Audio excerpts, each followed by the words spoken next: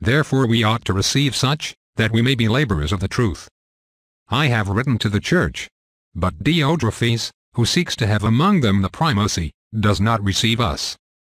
Therefore, if I go, I will bring to remembrance the works which he does, uttering malicious words against us.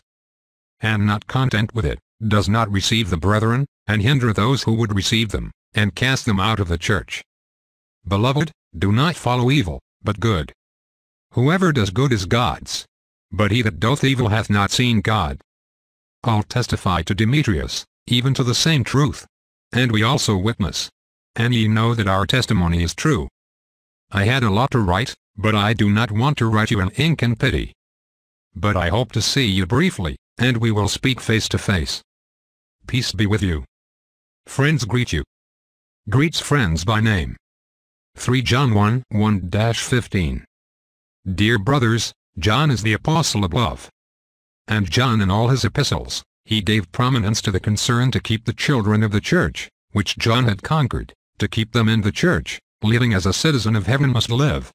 Then John had conquered, to keep them in the church, living as a citizen of heaven must live. Then, John clarified very well the need for Christians to remain in the truth, and not to stray into the path of salvation, either to the right or to the left. Here, in this third epistle, John is speaking of three characters.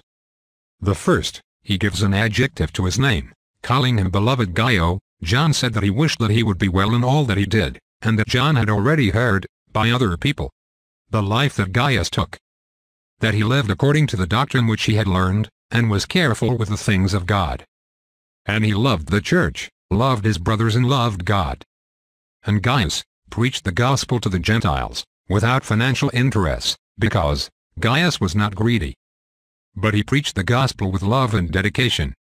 However, John also spoke about the other character, called Diotrephes, who was a person of some prominence in the church, but did not receive the apostles.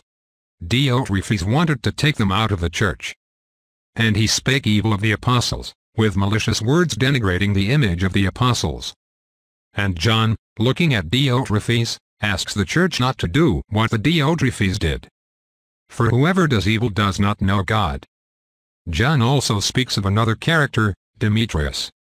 Paul testified about Demetrius, because Demetrius was also an apostle, and proceeded accordingly from the life of an apostle.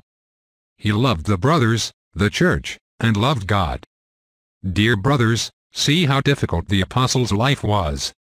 There were those who supported, there were also those who made the opposition, and who would hinder, rather than help, but there was the Church of God, was perfect, and the gospel perpetued. For making great leaders. Even today, as leaders, we face the same difficulties that the apostles faced, many support and help, and actively participate, but this happened to John, it happened to Paul, with Jesus Christ. And it is natural that today it continues to happen.